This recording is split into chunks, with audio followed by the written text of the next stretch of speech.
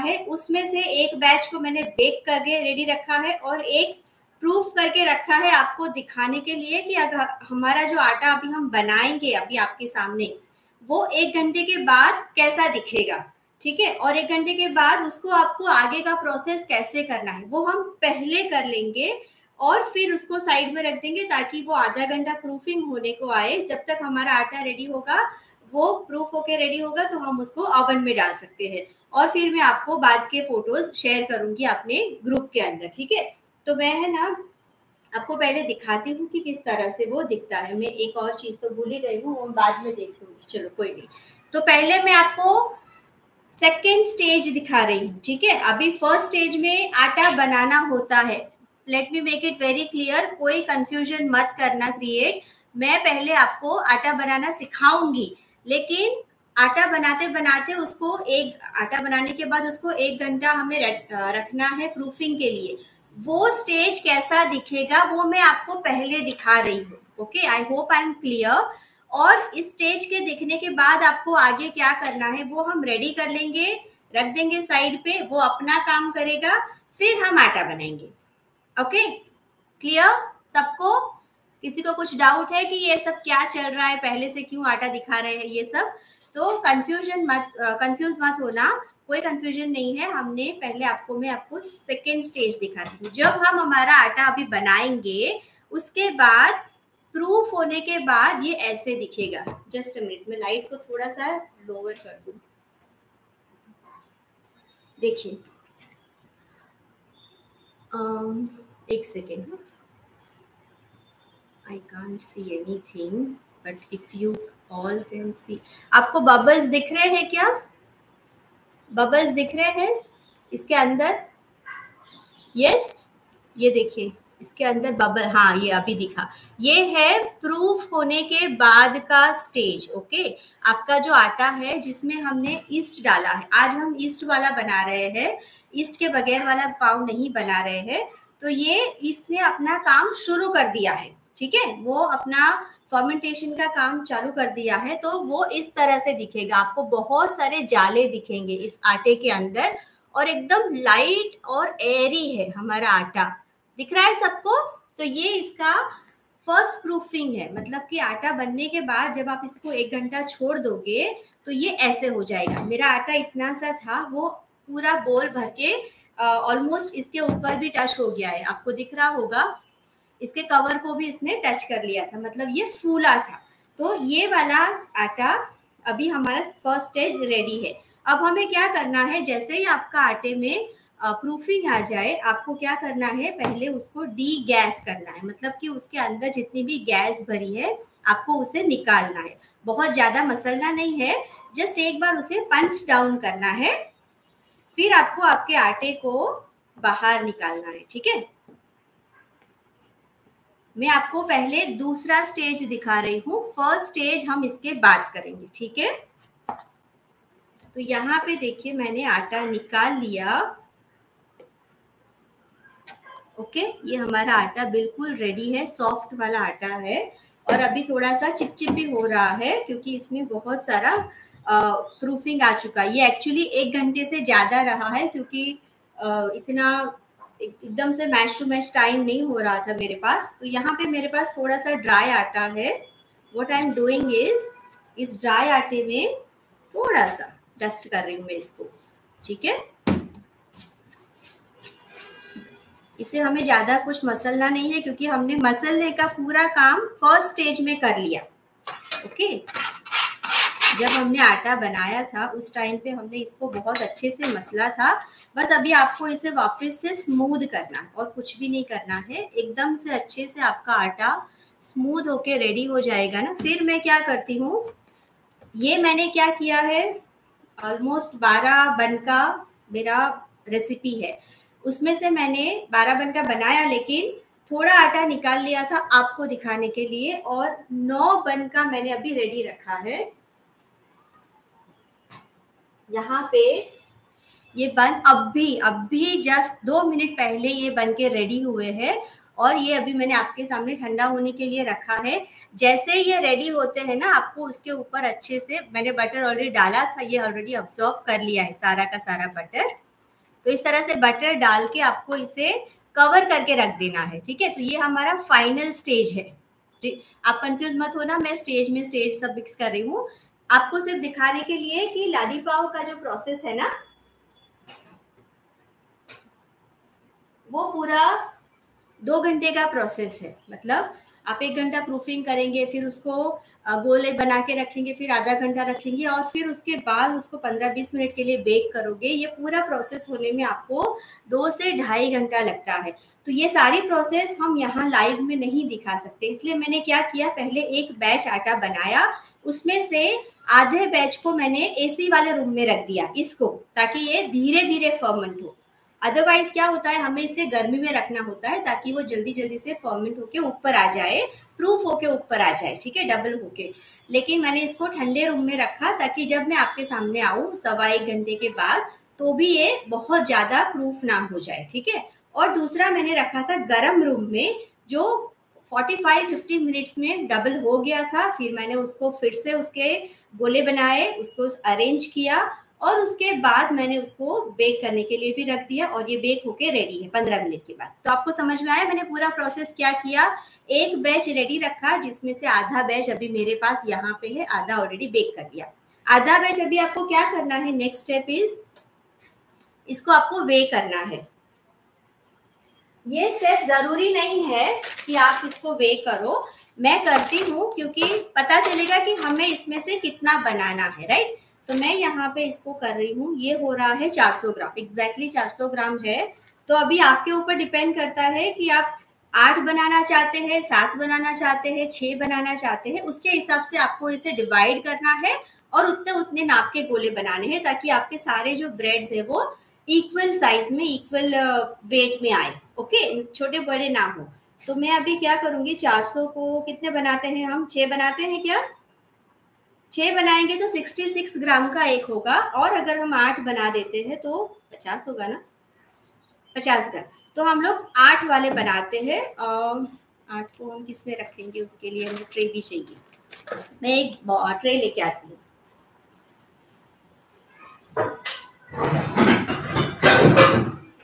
चलिए, मैं इस तरह का एक स्क्वायर टिन ले लिया है, और इसको मैं थोड़ा सा पहले ग्रीस कर लेती हूँ, ठीक है? जो लोग लेट जुड़ रहे हैं ना, उनको बता दूँ कि अभी तक हमने आटा बनाना शुरू नहीं किया है। ये मैं नेक्स्ट स्टेप्स बता रही हूँ, ताकि जब तक हमारा आटा बने, ये अपना काम करना शुरू कर दे राइट तो अभी हम क्या करेंगे?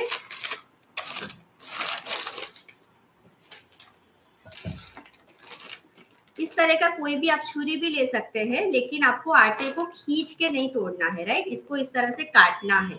और काटने के बाद आपको इसे वे करना है। अगर आपको सेवन बनाने हैं सपोज़ मुझे आ, नहीं मैं कितने बनाऊँगी? नाइन अगर नाइन बहुत छोटे छोटे हो जाएँगे तो हम एट ही बनाते हैं ठीक है? तो फिफ्टी ग्राम मैं इसको वे कर रही हूँ। ये फिफ्टी सेवन हो गया।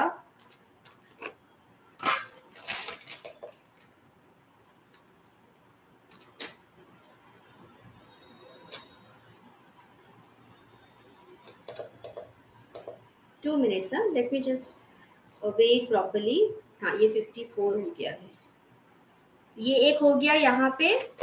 ऐसे फिफ्टी के हमें मेरा दूसरा वाला वेइंग स्केल काफ़ी अच्छा है। हाँ ये भी फिफ्टी हो गया। मैं फटाफट से आपके लिए आ, कर देती हूँ आगे का स्टेज को। थर्टी सेवन फिफ्टी फाइव और ये फिफ्टी तीन हो गए। बस थोड़े से और बाकी है। Forty four fifty fifty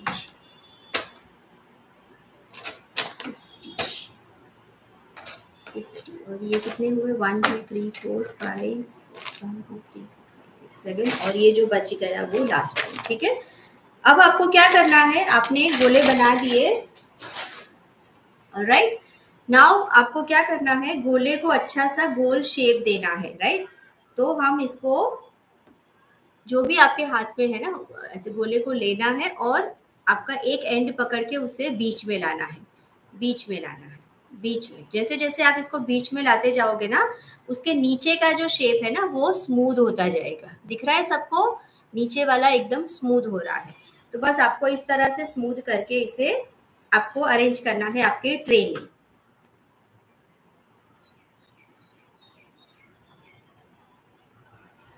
मैं ये स्टेज इसलिए पहले कर रही हूँ ताकि जब तक हम आटा और हमारा सेशन खत्म करें, ये प्रूफ होके रेडी हो जाए तो मैं आपको दिखा सकूँ कि प्रूफ होने के बाद ये किस तरह से फूलते हैं, ठीक है? That's why I am doing this step first और अभी मैं कोई कमेंट नहीं पढ़ रही हूँ, क्योंकि मुझे थोड़ा जल्दी जल्दी में काम खत्म करना है। डिनर भी बनाना है। आप लोगों का क्या प्लान है डिनर का? अभी दो दिन एक्सटेंड हुआ है, मेरी बेटी का छुट्टी तो हमने सोचा चलो ऐसा काम करे जिसमें थोड़ा टाइम लगता हो, आराम से डिनर बना ऐसे। तो हमने उसल पाव का आज सोचा है। और यूजली उसल पाव के लिए मैं घर पर ही बना देती हूँ पाव। हम लोग बाहर से कम लाते हैं। ऐसा नहीं है कि बिल्कुल नहीं लाते, लेकिन जब घर पे उसल पाव वगैरह मज़ा करना है ना तो होममेड इज़ बेटर और टेस्ट भी बहुत अच्छा आता है। और मैंने आज लिया है मैदा ओके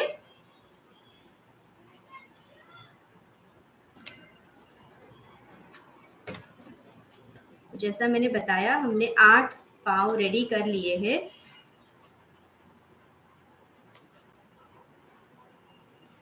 ये नौ का तीन है, लेकिन अभी एक हम में कम पड़ रहा है ना तो कोई दिक्कत नहीं आएगी, हम इसको ऐसे ही रख देंगे, ठीक है? यस यस नहीं, मैं भी बता रही हूँ, दो अभी बता रही हूँ, रुकिए। अभी मैं क्या करूँगी, इसको थोड़ा सा ऑयल लगा के इसे मैं कवर करके रख देती हूँ, ताकि ये एक दूसरे के साथ फूल के जुड़ जाए। जब तक हमारा सेशन खत्म होगा ना, ये आपको मैं दिखाऊँगी कैसे हो गए हैं फूल के। तो मैं अभी इसको कवर करके रख के आती हूँ दो मिनट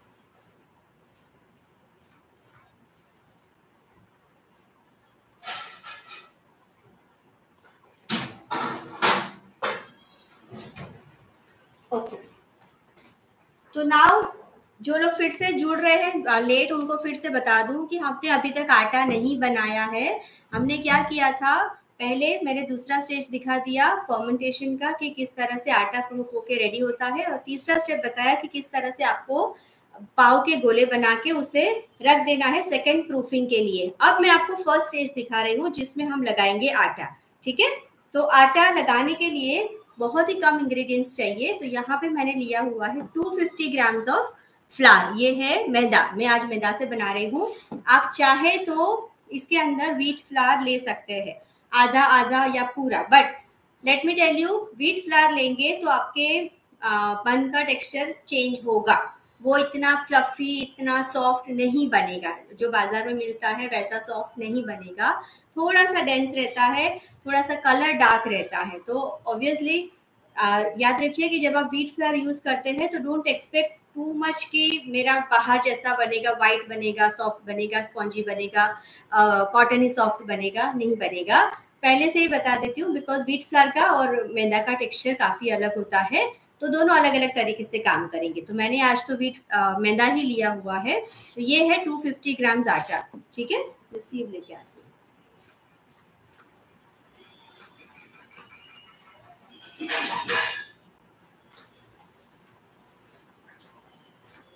टू फिफ्टी ग्राम अगर आप कप में नापने जाओगे ना टू फिफ्टी ग्राम अगर आप कप से नापोगे ना तो आ, फुल के लिए मैंने लिया था तीन cup and half three and half cup लिया था। अभी मैं डेढ़ कप और वन फोर्थ कप लिया है। कप के हिसाब से अगर देखा जाए तो मेरा आटा डेढ़ कप और one and half one fourth cup है सॉरी डेढ़ एंड वन फोर्थ कप ठीक है? मैं पूरा रेसिपी डिस्क्रिप्शन में डाल दूँगी। डोंट वरी आपको uh, कोई कंफ्यूजन नहीं होगा।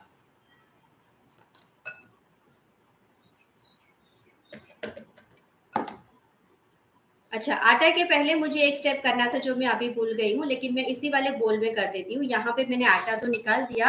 हमें पहले गरम पानी लेना है। गरम in the sense look warm water ये बिल्कुल भी लुक वॉर्म है। मेरा उंगली जा रहा है तो अभी तो ऑलमोस्ट ठंडे पे आ गया है लेकिन ये काम करेगा। तो ये है आ, कितना कप लेना है? ये कप ले गया आपको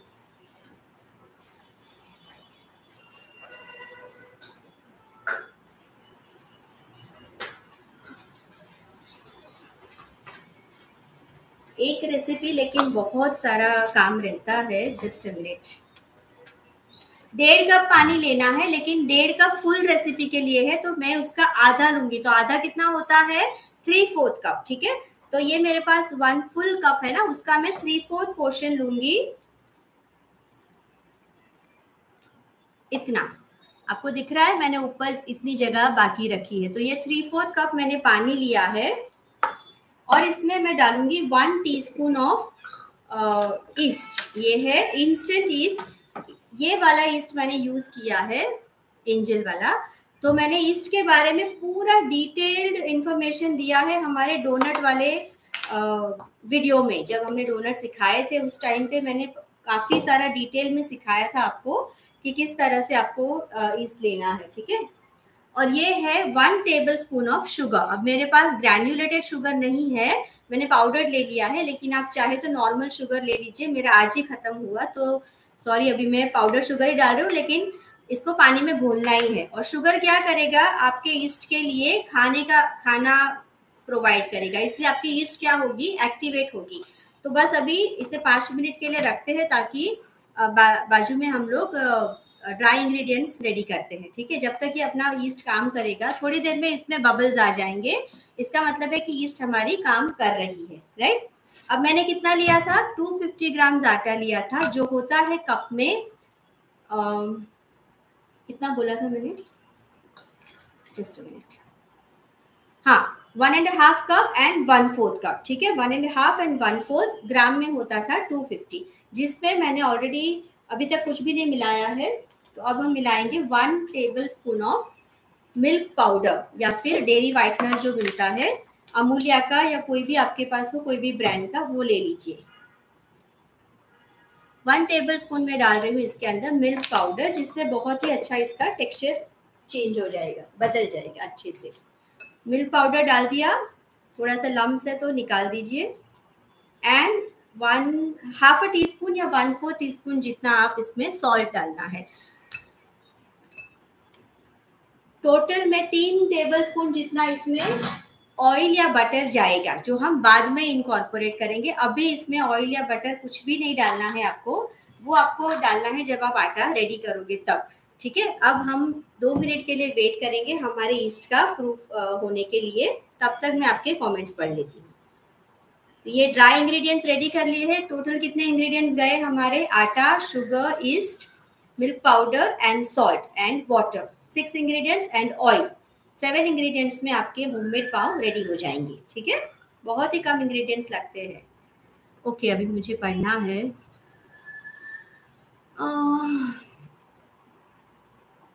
Yes ma'am yes ma'am yes ma'am ही है, लेकिन किसके लिए था? ओके हाँ सुपर शायद मेरे ब्रेड को देख के आपने बोला होगा। Pav is looking so good या and I will show you the texture मतलब कैसे सॉफ्ट है वंस थोड़ी सी ठंडी हो जाएगी ना, अब भी आपके सामने निकाली है। बहुत गर्म है तो मैं आपको थोड़ी देर बाद, इसीलिए एक बैच मैंने बना के रखा ताकि पूरा आपको शो कर सके कि बनने के बाद उसका टेक्सचर कैसा होता है, बनने के पहले वो कैसा उसका फर्मेंटेशन आता है एवरीथिंग ठीक है? My cup measurement is 240 grams मेरा 240 ग्राम का है। तो अभी मैंने क्या किया ड्राई इंग्रेडिएंट्स में हमें डालना है पानी।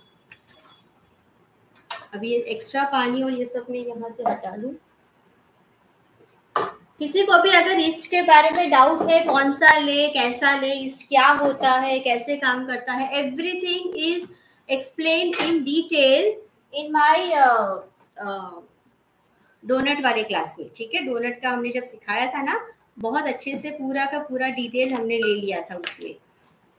अब इसमें बबल्स उठना शुरू हो गए हैं। आपको अगर दिख रहे हैं तो काफ़ी सारे बबल्स इसमें आ गए हैं। तो मैं इसमें क्या करूँगी? आगे वाला जो आटा मैंने बनाया था ना, वो मैंने मशीन से बनाया था और अभी भी मैं थोड़ी देर के लिए मशीन यूज़ कर लूँगी क्योंकि इस आटे को at least eight to ten minutes आपको गुनना है, बहुत अच्छे से गुनना है ताकि इसके अंदर इलास्टिसिटी आए, उसका स्ट्रेच बढ़े। तो वो मैं अभी थक जाऊँगी, इसलिए मैं क्या करूँगी, थोड़ी देर बाद, हाथ, थोड़ा हाथ से गुनने के बाद इसे हम मशीन में डाल देंगे, ठीक है? Hi Namita ji hi Angela. Bhavna ji hello Sam's shorts दो दो भी बताया, नहीं, अभी बता रही हूँ आपको। ठीक है? तो धीरे धीरे करके मैंने सारा इसमें पानी इनकॉर्पोरेट कर दिया है। रेसिपी एकदम परफेक्ट है। कुछ भी आपको कम ज़्यादा करने की ज़रूरत नहीं है। आप मेरे डायरी की हालत देख सकते हो। एक ही डायरी है जो मैं सालों से यूज़ करती हूँ। एक ही रेसिपी है जो मैं सालों से यूज़ करती हूँ। ठीक है? किसी को कोई क्वेश्चन है क्या? तो अभी पूछ लीजिए, मैं थोड़ा अभी जब तक आटा बना रही हूँ ना, तब तक आप आपके क्वेश्चंस को पूछ सकते हैं।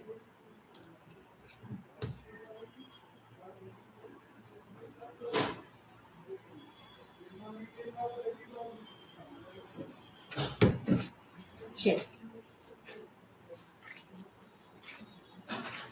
पानी आपको शायद एक आध दो चम्मच ऐड करना पड़े, क्योंकि पानी डिपेंड करेगा आपके आटे की क्वालिटी के ऊपर। कि आपका आटा किस प्रकार का है? कोई कोई आटा जो होता है, कभी ज़्यादा पानी भी लेता है कोई कोई आटा कभी कम पानी पीता है, ठीक है? और डोनट का और ये पाव में क्या डिफरेंस है?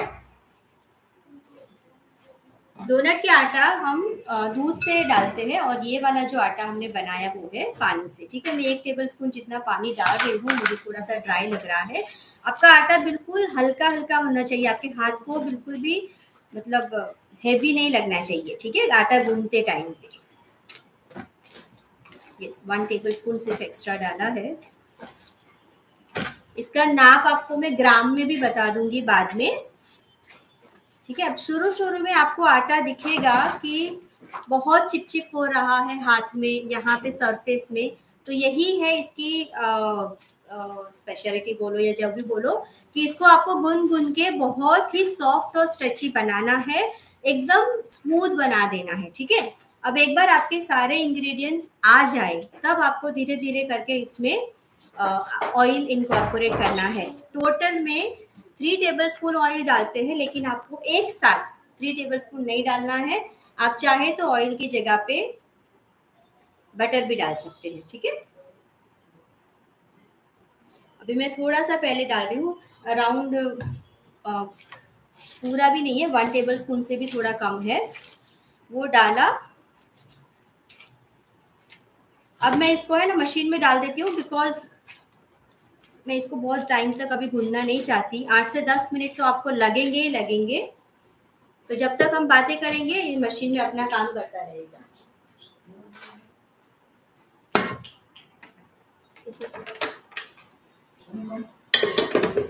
चलो गेट माय ब्लेड में बेटे। आटा ब्लेड ब्लेड सॉरी मैं आपके सामने अभी दस मिनट तक गूंद नहीं सकती ना इसलिए मैं इसको मशीन में डाल रही हूँ ताकि पाँच मिनट में हमारा आटा रेडी हो जाए। द एल शेप एस और L shape on the platform दिख रहा। I just washed and kept This is not L, not S.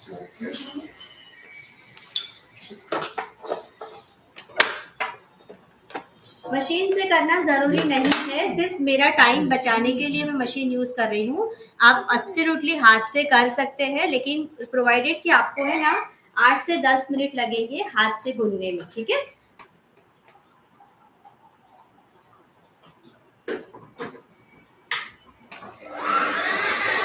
जब तक ये हो रहा है मैं आपके कमेंट्स देख लूँ और आपको ये भी दिखा दूँ कि कैसा है।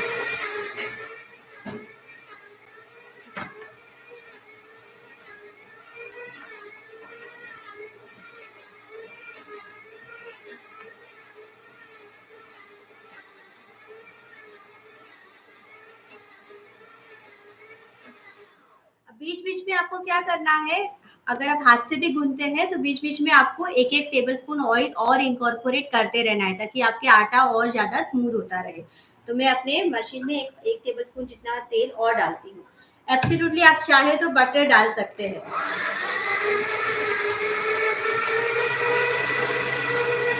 यहाँ पे मेरा ब्रेड बिल्कुल रेडी है। देखिए मैंने निकाल दिया है। ओके? यहाँ पे ये पीछे का है और ये है हमारा आगे का पार्ट, ठीक है?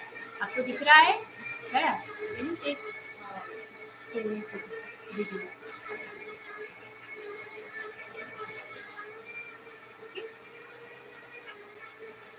दिख रहा है सबको? कमेंट्स आना बंद हो गए हैं। ये देखिए, हमारा लादी पाव बिल्कुल रेडी है, एकदम अच्छे से सॉफ्ट पाव बना है। मैं उसको ऐसे भी कर रही हूँ। Just photo video video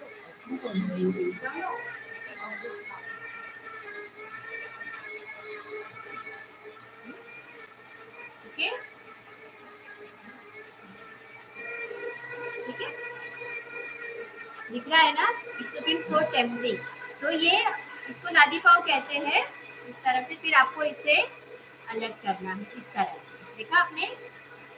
I show you the texture also ये देखिए, इतनी सॉफ्ट है अपनी पाव दिख रही है सबको? और ये इतनी परफेक्ट है। वापिस अपने आप ऊपर आ जाती है राइट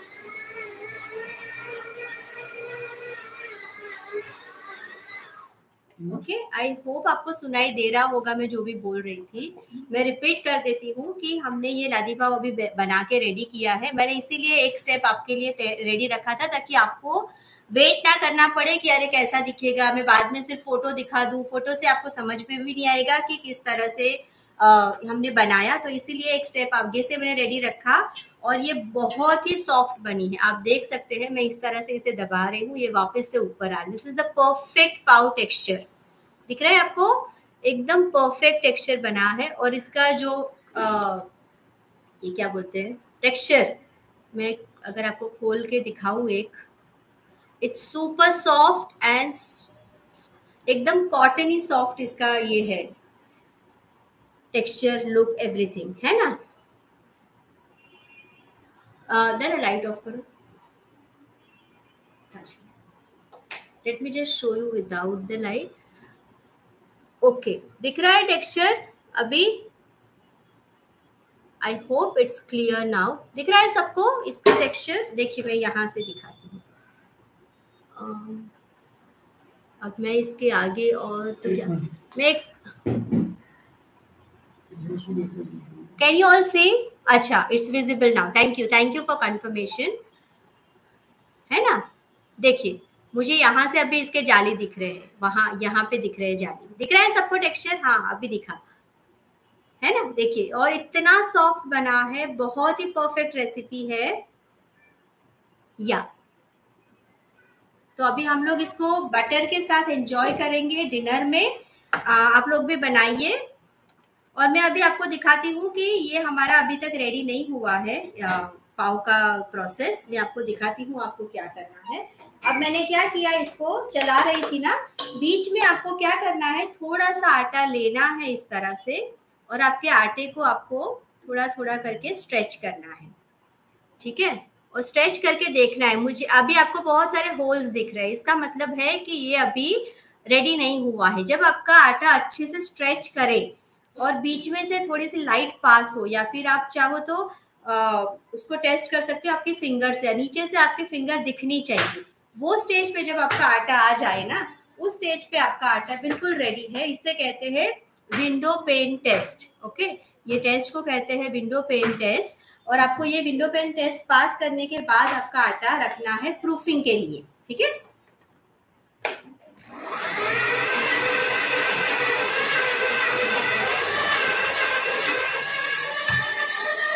इसीलिए मैं मशीन यूज़ करती हूँ ताकि मेरा काम थोड़ा कम हो जाए।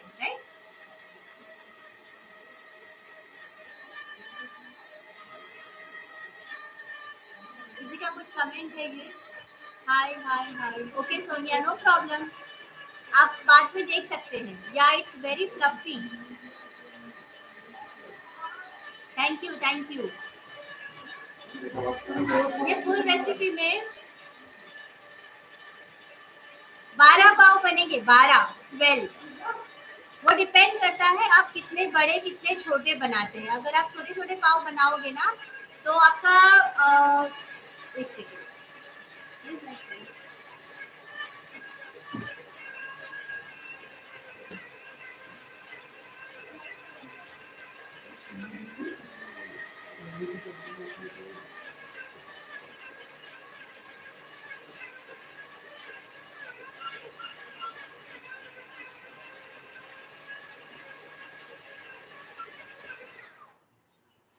50 ग्राम का भी नाप लेके चलते हो या 45 ग्राम के बन का मना तो इतने से बनेंगे, इससे थोड़े से छोटे बनेंगे। ये 60 ग्राम का मैंने लिया हुआ है, ये जो अभी साइज़ दिख रहा है ना आपको, और ये जो मेरा टिन साइज़ है, ये एट बाई एट है। ये tin size eight by eight है, और उसमें मैंने नाइन बनाए हैं वेइंग ईच सिक्स सिक्सटी ठीक है? सिक्सटी ग्राम का एक बना है।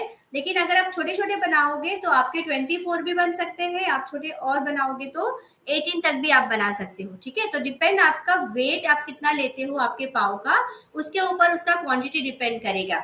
अगर आप 50 ग्राम लेके चलते हो, आपको क्या करना है? मैंने सिखाया ना, आपको डिवाइड करना है आपके डो को। जब आपका डो रेडी हो जाएगा ना, फिर आपको उसे डिवाइड कर देना है हाउ मच यू वॉन्ट आपको 12 पीस चाहिए तो 12 से डिवाइड कर दीजिए, आपको 18 पीस चाहिए तो 18 से डिवाइड करके उस हिसाब से आपको उसे काट के करना है।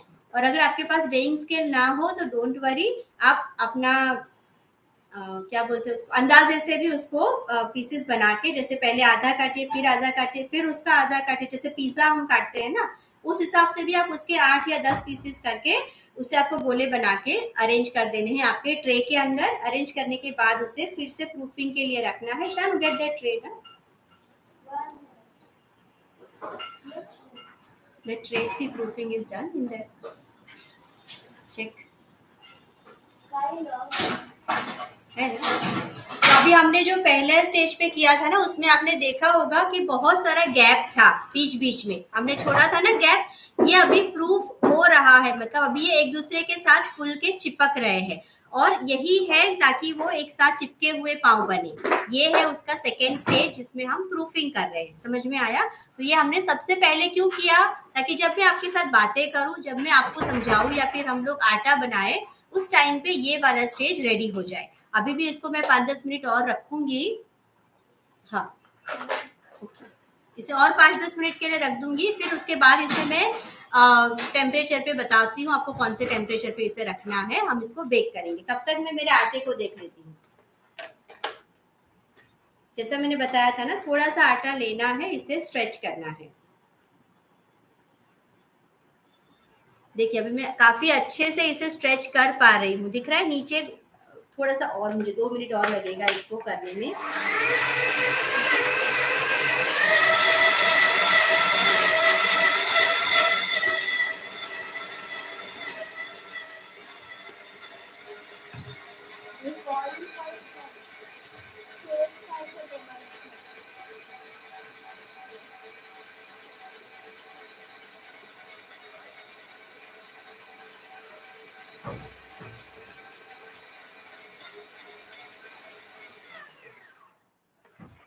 चेक नाउ अभी तक तो हो जाना चाहिए ठीक है?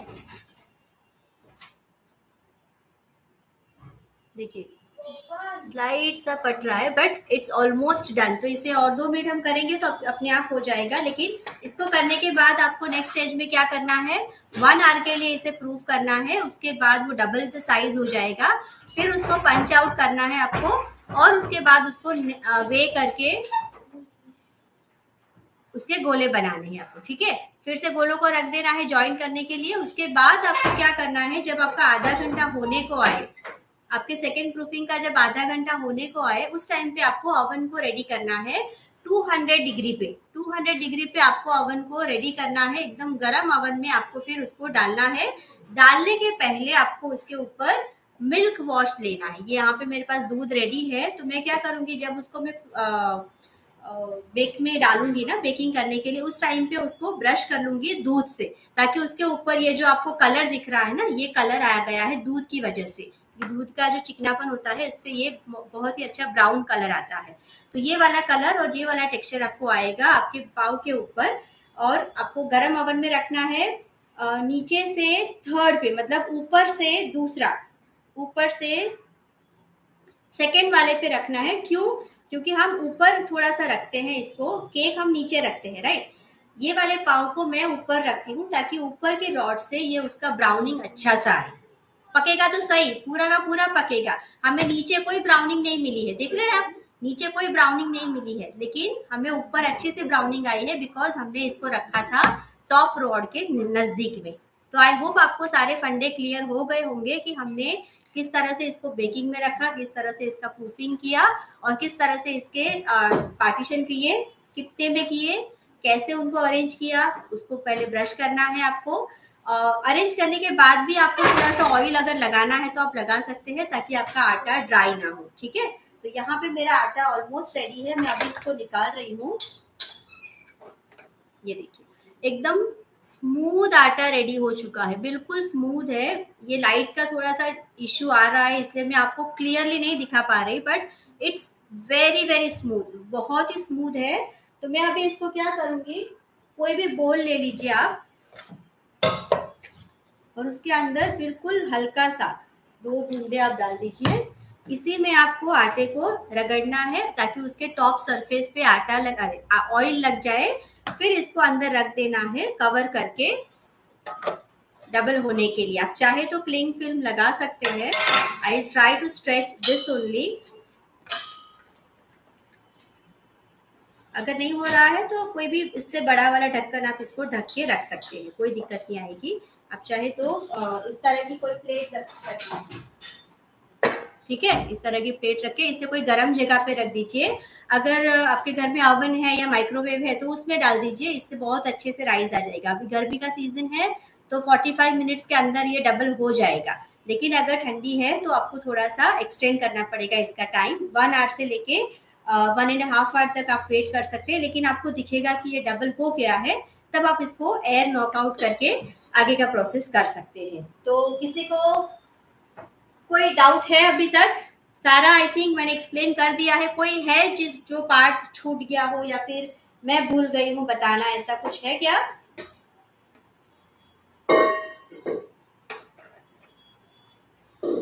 हटा लू तो जगह हो जाएगी। ठीक है? ऑल राइट चलिए। टोटल कितने कितना ऑयल इन टोटल आपको आटे में तीन टेबल स्पून ऑयल चाहिए, लेकिन आप चार टेबल स्पून तक भी लोगे तो कोई दिक्कत नहीं आएगा। आपका आटा अच्छे से सॉफ्ट ही बनेगा but don't add too much also लेकिन धीरे धीरे करके आपको थ्री टेबल स्पून तक आटा ऑयल इसमें इनकॉर्पोरेट करना है इन बिटवीन एक साथ में नहीं।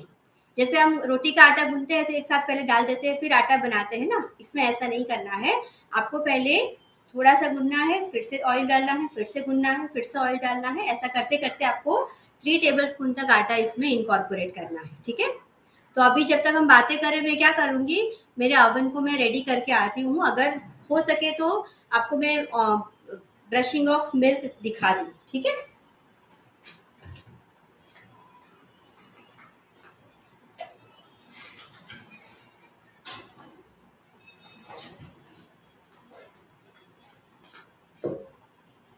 जब दूसरी बार आप इसको रखोगे ना तो दूसरी बार आपको एक घंटे तक रखने की ज़रूरत नहीं है।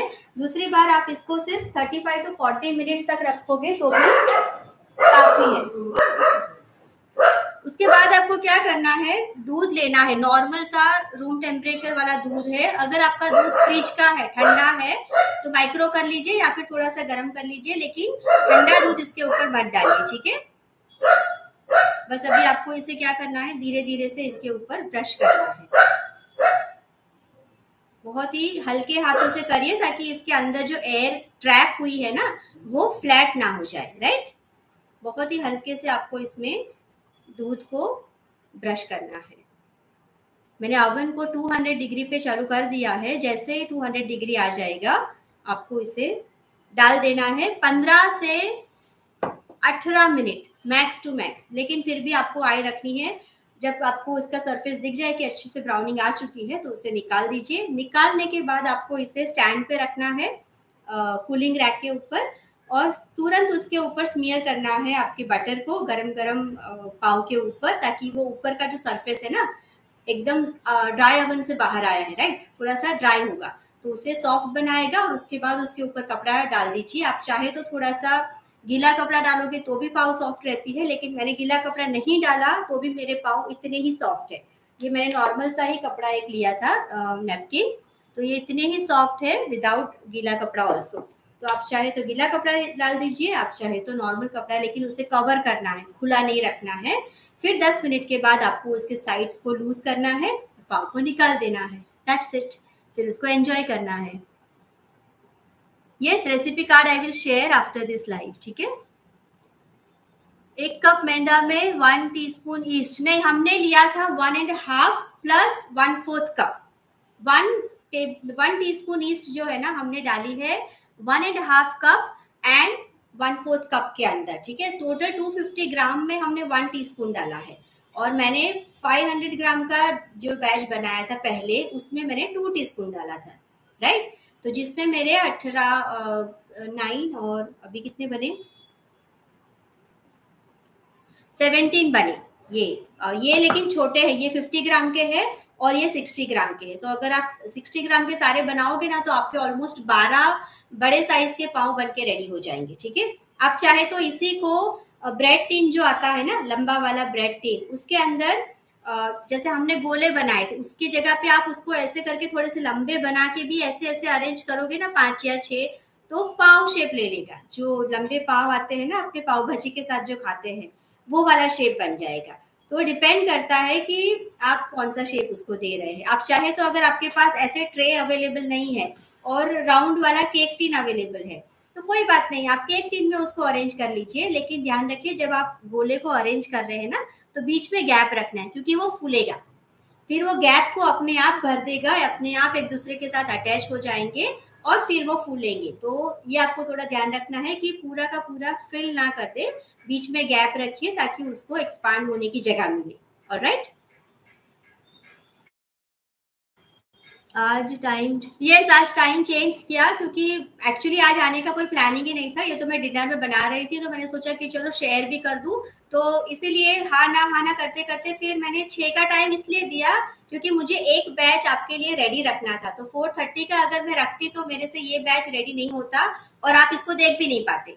तो फिर मतलब नहीं था अगर मैं आपको फाइनल रिज़ल्ट ना दिखाऊँ तो फिर लाइव का मतलब नहीं था। बाद में फ़ोटो से आपको आइडिया नहीं आएगा कि कैसा बना है राइट तो इसीलिए मैंने एक बैच रेडी किया और ये प्रोसेस जो है ना, पूरी दो घंटे की प्रोसेस है। तो इसलिए साढ़े चार की जगह पे हम लोग छह बजे आए। Okay Meenakshi ji clear what is the speed of stand मैंने ये सिक्स या सेवन पे रखा था।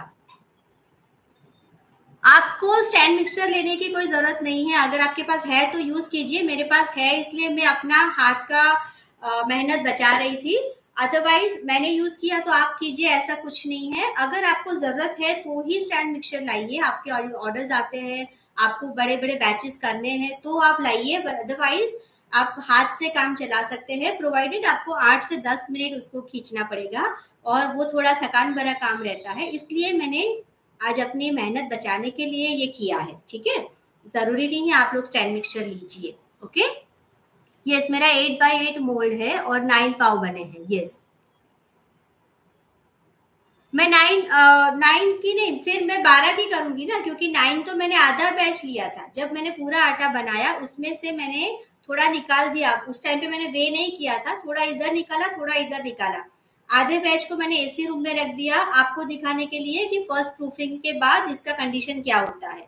और आधे को मैंने गर्म रूम में रखा। उसमें से जो हो गया, उसको मैंने बना के ये रेडी रखा ताकि बेक होने के बाद कैसे दिखते हैं, वो भी आपको दिखा सकूँ। तो मुझे तीन बैच ना बनाने पड़े, इसलिए मैंने इसको तीन पार्ट में डिवाइड कर लिया। आई होप आपको समझ आ रहा होगा मेरा लैंग्वेज थोड़ा सा आज अटपटा लग रहा होगा कि ये क्या बोले जा रही है। What is the speed of stand mixture वो मैंने बताया ना सेवन सिक्स या सेवन था लास्ट में। हाँ नोटिफिकेशन नहीं मिला। क्यों? नोटिफिकेशन आया तो है हमारे ग्रुप में, डाला तो है। और मैंने कितने? फोर थर्टी को ही तो डाला था कि हम लोग आज आएँगे लाइव डाला है, आप नहीं देखा होगा, आपने मिस किया होगा। देखिए, मैंने फोर थर्टी एट को मैसेज डाला है कि मैं आज होममेड पाव बना रही हूँ। सिक्स या सिक्स फिफ्टीन को मैं आऊँगी। ऐसा भी मैंने, क्योंकि मेरा ब्रेड कब रेडी होगा, मुझे भी आइडिया नहीं था एग्जैक्टली ओके रेसिपी कार्ड में शेयर कर दूँगी। यस हाँ रिपीट कर देती हूँ। चलिए, जो लोग नोट डाउन कर रहे हैं, उनके लिए रिपीट कर देती हूँ। मैंने पूरी रेसिपी बता दू? मतलब पूरी मतलब आधी वाली नहीं, पूरी वाली रेसिपी बता देती हूँ ठीक है? जो मेरी लिखी हुई रेसिपी है, ठीक है? तो लिखिए, डेढ़ कप पानी, डेढ़ कप आपको लेना है पानी one and half cup water two teaspoon आपको लेना है ईस्ट गरम पानी, गर्म नहीं लुकवम वाटर में टू टीस्पून आपको लेना है ईस्ट उसके बाद उसमें डालना है two tablespoon sugar granulated sugar भी चलेगा पाउडर शुगर भी चलेगा। टू टेबल स्पून शुगर तीनों को डाल के आपको एक साइड पे ब्लूम होने के लिए रख देना है ताकि आपका ईस्ट काम करे, कर रहा है कि नहीं वो आपको समझ में आए। ओके अभी दूसरे बोल में आपको रेडी रखना है आटा। तो आटा आपको लेना है थ्री एंड हाफ़ कप ठीक है? थ्री एंड हाफ़ कप अभी हमने आधे में कितना लिया था? One and half and one four right तो थ्री एंड हाफ़ कप आटा, जिसके अंदर आप मिलाओगे two tablespoon milk powder आटे के अंदर। एंड हाफ़ से लेके वन टीस्पून तक सॉल्ट आप मिलाओगे। आपको जितना डालना है हाफ़ टी स्पून डालोगे और बटर डाल रहे हो तो हाफ़ टी स्पून डालिए ऑयल डाल रहे हो तो वन टी स्पून डालिए डिपेंड अपॉन यू और three tablespoon in total will go oil या बटर क्लियर सेवन इंग्रेडिएंट्स आ गए हमारे। बहुत ही इजी रेसिपी है। अभी तो मैंने ओरल बोल दिया है, मैं रिटर्न भी डाल दूँगी, ठीक है? बाद में किसी का कुछ शक है अभी? Hand mixture use hand mixture hand mixture में वो आटे वाला आपको लेना पड़ेगा। ऐसा हैंड मिक्सचर में भी इस तरह का अटैचमेंट आता है ना हाँ आप वो यूज़ कर सकते हैं। ठीक है? लेकिन आपको आटा वाला, आप वो विस्किंग वाला नहीं ले सकते। जो हम जिससे विपिंग क्रीम बनाते हैं, वो वाला अटैचमेंट नहीं यूज़ कर सकते। आटे के लिए अलग सा अटैचमेंट आता है ऐसा ऐसा वाला। वो आपको यूज़ करना पड़ेगा। राइट ठीक है? चलिए तो फटाफट से लाइक दे दीजिए मेरे वीडियो को, अगर पसंद आया है तो। और बहुत अच्छा लगा, काफ़ी अच्छे आठ से नौ, दस लोग जुड़ गए थे। जो लोग नहीं जुड़ पाए, वो लोग बाद में देख सकते हैं। किसी का लेट हो गया है, वो भी बाद में फुल वीडियो देख सकते हैं। रेसिपी कार्ड मैं एक दो तो घंटे में करूँगी, क्योंकि मैं अभी डिनर भी साथ साथ में बना रही हूँ। इसके बाद मुझे उसल बनाने जाना है। तो ऐसे प्लान तो ऐसा भी था कि उसल भी दिखा दूँगी, लेकिन बहुत सारा काम बढ़ जाएगा मेरा। तो आज नहीं, फिर कभी मैं बता दूँगी आपको। लेकिन एंजॉय कीजिए बनाइए अपनी फैमिली के लिए। मैं खास करके जब पाव बनानी होती है ना तो घर पे बनाती हूँ। बाकी सब चीज़ें तो इतना नहीं करती बट पाव मैं घर पे बनाती हूँ क्योंकि ये बाहर से हेल्दी भी है healthy in the sense preservative free है इसमें कोई केमिकल्स नहीं है इसमें कोई आ, ऐसी चीज़ें नहीं है जो आपके बॉडी को हार्म करे। आ, सब कुछ जो डाला है वो हमने साफ़ सुथरा डाला है साफ़ सुथरे तरीके से बनाया है। So I prefer making at home और एक ऐसी चीज़ है जो मेरी बेटी बहुत एंजॉय करती है तो उसके लिए थोड़ी मेहनत तो करनी बनती है राइट तो अगर आप भी आपके फैमिली के लिए थोड़ा कुछ करना चाहते हैं तो इस रेसिपी को ट्राई कीजिए and please please please do share your creations कितना वेट करना पड़ता है, तभी कोई भी नहीं करता है। कम्युनिटी ज्वाइन कर ली। Okay Parvinder Parvinder ji welcome to the community post the recipe in gram also. I'll try to uh, convert in grams. Okay, no problem. लिब्रेटा तो हमने दूध ऑलरेडी डाल दिया था तो अभी मेरा अवन भी आ चुका है मैं डाल के आती हूँ फिर हम लोग बाय कहते हैं ओके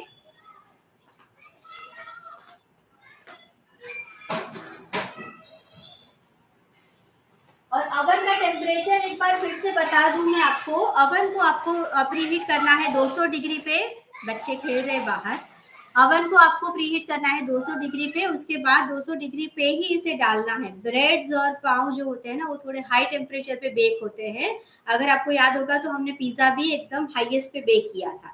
तो उनको ज़्यादा टाइम नहीं लगता है हार्डली 15 टू 18 मिनट्स लगेंगे।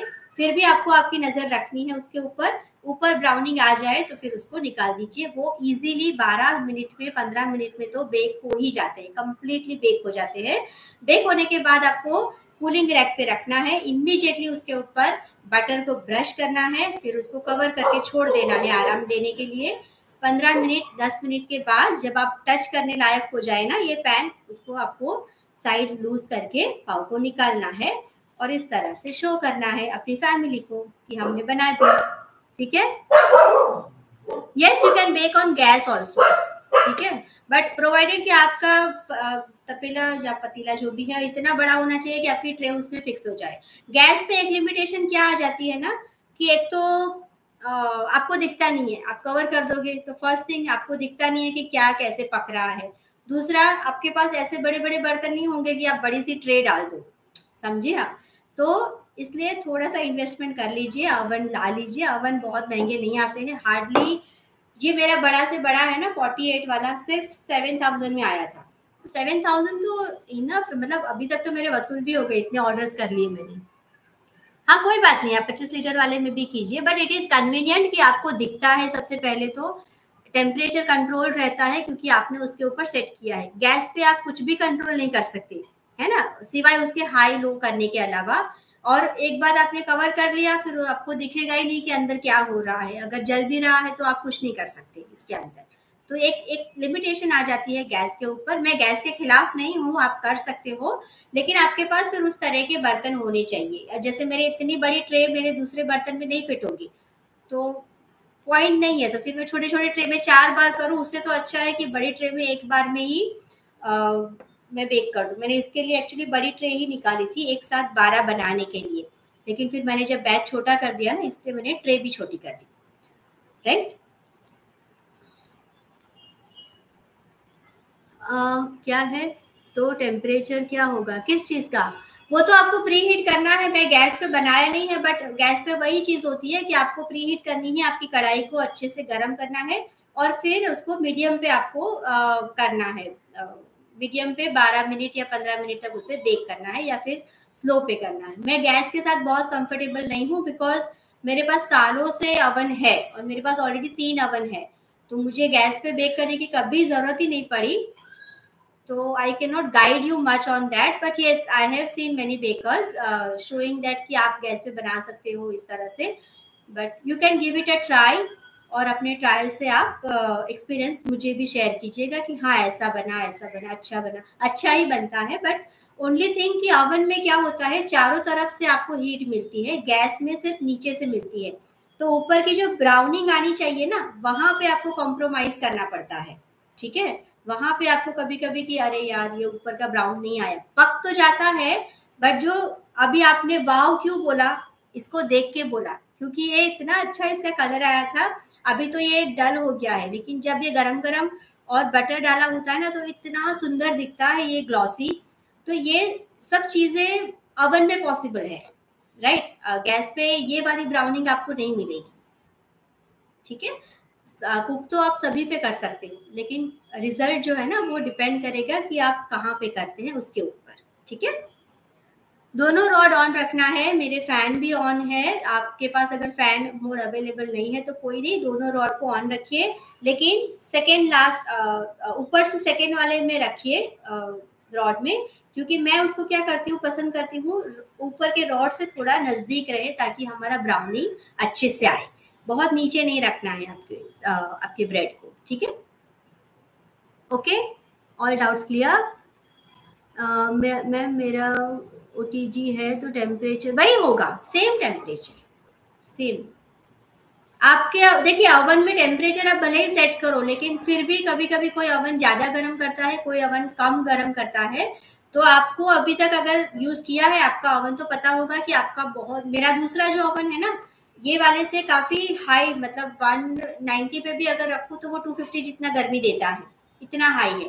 तो वहाँ पे मैं, मैं मुझे पता है कि वो उसकी टेम्परेचर की आ, ये कैपेसिटी हाई है तो मैं वहाँ पे कम टेम्परेचर रखूँगी। But you have to know your oven या आपने इतने सालों में वो थोड़ा एक्सपीरियंस गेन करना पड़ेगा कि आपका ओवन कौन सा वाला ज़्यादा कैसा बिहेव करता है। मेरे दो ओवन है एक वाला सेम टेम्परेचर पे भी अगर रखूँगी तो वो कम गर्म होता है, जबकि दूसरा वाला जो होता है ना, वो कम टेम्परेचर पे भी तुरंत पहुँच जाता है बड़े टेम्परेचर पे।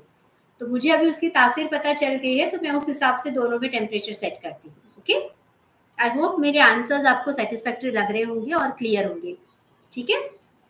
और राइट तो फिर अभी आपके पाओ की फ़ोटो की वेट करूँगी। Please share your creation with me मुझे भी मज़ा आता है और कुछ नया लाने को है तो वो बता दीजिए कि और क्या सीखना चाहते हैं। तो फिर मैं वो वाला प्रिपरेशन करके आऊँगी।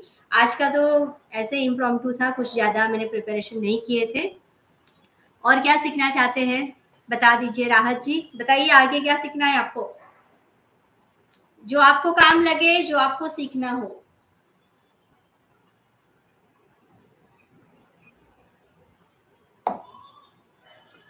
माय प्लेजर डियर ब्रेड नहीं बनाया अब तक ओटीजी में। आपने नहीं बनाया?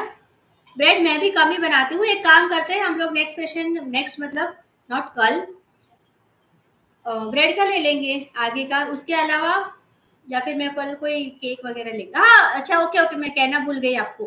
कल मेरा एक केक का ऑर्डर है। अगर आपको देखना है, मैं कल कसाटा फ्लेवर का केक बना रही हूँ।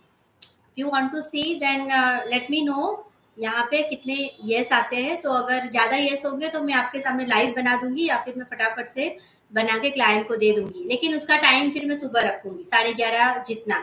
Because I have to keep the cake ready before four और मुझे ठंडे ठंडे में ही रेडी करना है। तो अगर आप लोग इंटरेस्टेड हो केक का देखना कि टुमारो में मेरे केक कैसे बनाती हूँ, कसाटा फ्लेवर तो मुझे फटाफट से यस दे दीजिए। तो मुझे समझ में आएगा कि हाँ इतने लोग इंटरेस्टेड है तो मैं कल अरेंज करूँगी। अदरवाइज़ मैं फटाफट बना के क्लाइंट को दे दूँगी। टाइम लगता है मुझे प्रेपरेशन करने में, इसलिए बता रही हूँ ठीक है? ओके मल्टीग्रेन ब्रेड ठीक है। और कुछ? यस अभी तक नहीं आया कोई ज़्यादा। जल्दी जल्दी दीजिए। यस यस यस यस तो मैं कल आपके लिए कसाटा केक लेके आऊँगी। ठीक है? नॉर्मल बहुत ज़्यादा टेक्निकल डिज़ाइन नहीं है मेरे केक में, बहुत सिंपल है। 82 ईयर के जो एक दादा है, उनके लिए बर्थडे का केक बना रही हूँ तो सिंपल सा केक रखा है, लेकिन कसाटा में फ्लेवर में क्या डालती हूँ, वो अगर देखना है तो कल आ जाना लाइव में। अराउंड साढ़े ग्यारह या ग्यारह बजे मैं लाइव रखूँगी तो हम लोग उस टाइम पे ही मिलेंगे फिर से, ठीक है? मल्टीग्रेन ब्रेड राइट ठीक है ठीक है ठीक है। बर्गर बाँस ओके चलिए फिर मिलते हैं। Thank you so much everyone for joining thank you for showing your love and thank you for showing so many likes please please please go back and comment on my video thank you so much bye